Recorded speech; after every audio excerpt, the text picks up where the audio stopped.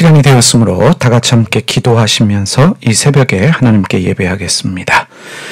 사람을 사랑하시고 사람을 위해 희생하시고 죽으신 주님, 사람을 위한 주님의 사랑을 깨달아 알게 하여 주시고 저희의 구원과 행복을 위해 일하시는 하나님의 섭리를 깨달아 아는 저희 모두가 되게 하여 주시기를 기도드립니다. 저희가 종교생을 하지 않게 하여 주시고 저희의 신앙생활이 주님을 알아가며 그리스도를 닮아가게 하여 주시옵소서. 이해할 수 없는 하나님의 신비를 경험하게 하여 주시고 매일의 삶이 하나님을 알아가는 기쁨이 되게 하여 주시기를 기도드립니다. 섬세한 침묵의 소리로 말씀하시는 주님, 들을 수 없는, 들리지 않는 주님의 소리를 들을 수 있는 침묵의 기도를 드리는 저희가 되게 하여 주시옵소서. 분주하게 바쁘게 살아가면서 많은 말을 해야만 하는 저희의 일상이지만 고요함 가운데 머물 수 있는 은혜를 허락하여 주시고 많은 말을 하기보다는 침묵할 수 있는 여유가 저희에게 있게 하여 주시옵소서. 저희의 귀를 주님께서 열어 놓아 주셔서 주님의 소리를 듣게 하여 주시기를 기도드립니다. 저희에게 광야를 허락하신 주님의 뜻을 깨달아 알게 하여 주시고 광야 미드바르에서 주님의 소리를 듣게 하여 주시옵소서. 엘리야에게 들려주신 섬세한 침묵의 소리를 저희에게도 허락하여 주시기를 기도드립니다. 저희의 내면을 보게 하여 주시고 무엇보다 저희의 무지함을 깨달아 알게 하여 주셔서 같은 실수를 반복하지 않도록 저희를 도와 주시옵소서. 삶의 어려운 문제들을 해결할 수 있는 지혜와 힘을 저희에게 허락하여 주시며 사람의 힘으로 해결할 수 없는 문제들 가운데 주님께서 친히 개입하여 주셔서 문을 열어주시고 꼬인 문제들을 풀어주시기를 간절히 기도드립니다. 사랑하는 교우들이 오늘도 행복한 하루를 보낼 수 있도록 오늘 하루도 주님이 저희를 지켜주시고 보호하여 주시옵소서. 저희 안에 계신 성령님께서 한 사람 한 사람 눈동자와 같이 지켜주시고 보호하여 주시옵소서. 사랑하는 자녀들 가운데 함께하여 주시옵소서 연로하신 부모님들 건강 지켜주시고 생명의 날 더하여 주시기를 간절히 기도드립니다.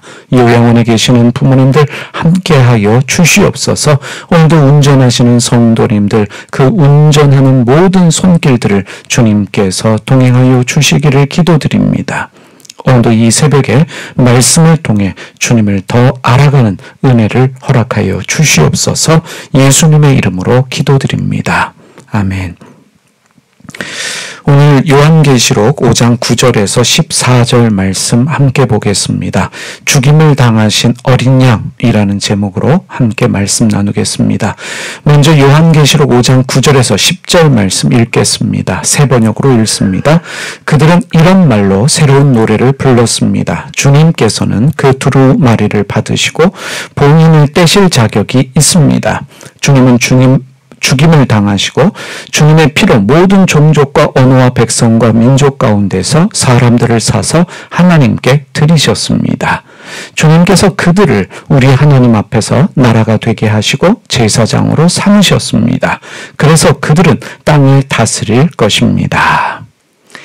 천상의 존재들이다라고 말할 수 있는 천사들은 검은고와 성도들의 기도에 향이 담긴 금 대접을 가지고 주님을 예배하면서 주님 앞에 엎드려 새로운 노래를 불렀습니다. 이 천상의 존재들, 천사들이 부른 새 노래는 주님의 구원 사역에 관한 노래입니다. 그리스도는 두루마리를 받으시고 본인을 떼실 자격이 있으신 분입니다.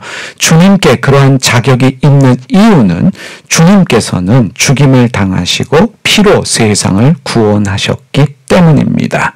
죽임을 당하시고 피로 세상을 구원하셨기 때문에 주님께는 본인을 떼실 자격이 있는 것입니다. 하나님의 완전한 구원 계획을 이루시기 위해서 그리스도는 다시 이 세상에 오셔서 세상을 심판하십니다. 그리스도의 십자가의 피로 구원받아 하나님께 드려진 자들, 이 하나님께 드려진 자들, 구원받은 자들이지요. 그들은 그리스도의 십자가의 피로 구원받은 사람들입니다. 하나님께 드려진 자들입니다. 그들은 하나님 앞에서 나라가 되고 제사장이 됩니다. 구원받은 성도는 하나님 나라에서 영원한 하나님 나라에서 영원히 주님과 함께 다스리며 왕노릇하게 됩니다. 여기서 중요한 부분이 있습니다. 여러분 주목하시기를 바랍니다. 그리스도는 자신을 희생하여 가장 좋은 것을 사람에게 주기 원하신다는 것입니다. 주님 되시는 예수 그리스도가 십자가에서 죽으셨습니다. 희생하셨습니다. 피 흘리셨습니다. 그래서 사람들을 하나님께 드리셨고 사람들은 구원받은 성도는 주님 앞에서 나라가 되고 제사장이 됩니다. 땅을 영원히 다스립니다. 가장 좋은 것을 사람에게 주기 위해서 주님은 자기를 희생하셨습니다. 우리가 믿는 하나님은 자신을 희생하시는 하나님이십니다.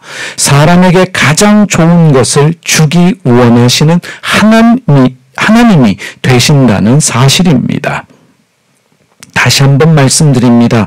하나님은 자신을 희생하시는 하나님이시요. 사람에게 가장 좋은 것을 주기 원하시는 하나님이 되십니다. 천상의 존재들이 천사들이 이러한 새 노래를 부르고 있는 이유는 이것이 교회와 성도에게 중요한 진리가 되기 때문입니다. 너무도 중요한 사실이기 때문입니다. 요한계시록의 전체 결론이다 라고 말할 수 있습니다. 주제다라고 말할 수 있습니다. 하나님은 사람을 위해 희생하십니다. 사람에게 가장 좋은 것을 주기 원하십니다. 이것이 요한계시록의 주제요 핵심이라고 말할 수 있습니다. 요한계시록을 우리가 정말 심판의 관점으로만 이해하면 위협감을 느낍니다. 두려움을 느낍니다. 마치 사람을 협박하는 말씀으로도 들릴 수 있습니다. 그런데 우리가 희생하시는 하나님, 사람에게 가장 좋은 것을 주기 원하시는 하나님을 이해하면서 요한계시록을 읽어갈 때에 사람의 구원과 행복을 원하시는 하나님을 새롭게 발견할 수 있습니다. 이어지는 말씀 요한계시록 5장 11절에서 14절 말씀 세 번역으로 읽습니다. 나는 또 그 보좌와 생물들과 장로들을 둘러선 많은 천사들을 보고 그들의 음성도 들었습니다. 그들의 수는 수천 수만이었습니다. 그들은 큰 소리로 죽임을 당하신 어린 양은 권세와 부와 지혜와 힘과 존귀와 영광과 찬양을 받으시기 합당하십니다 하고 외치고 있었습니다. 나는 또 하늘과 땅 위에 땅이여 땅 아래와 바다에 있는 모든 피조물과 또 그들 가운데 있는 만물이 이런 말로 외치는 소리를 들었습니다. 보호자에 앉으신 분과 어린 양께서는 찬양과 존귀와 영광과 권능을 영원 무궁하도록 받으십시오. 그러자 내 생물은 아멘하고 장로들은 엎드려서 경배하였습니다. 수 만 수천의 천사 셀 수 없는 천사의 무리를 말합니다. 셀 수 없는 수천 수만의 천사 성가대와 온 세상이 보좌에 앉으신 분과 죽임을 당하신 어린 양을 찬양하고 있습니다. 여러분 다시 한번 주목해서 보시기를 바랍니다. 천사들과 세상은 그리스도의 희생과 죽음을 찬양하고 있습니다. 왜 찬양과 존귀와 영광과 권능을 영원 무궁하도록 주님 앞에 찬양하고 있는 것입니까? 드리고 있는 것입니까? 주님께서 우리를 위해 희생하셨기 때문에 죽으셨기 때문입니다.